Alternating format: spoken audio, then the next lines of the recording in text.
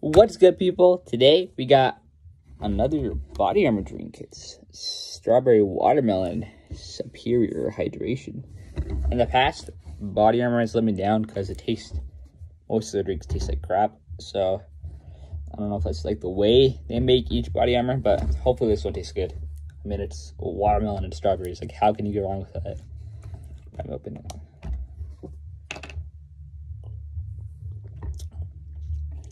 Yeah, yeah, that tastes like crap. uh, I don't, I'm not getting into my body armor again. Freaking 4 out of 10.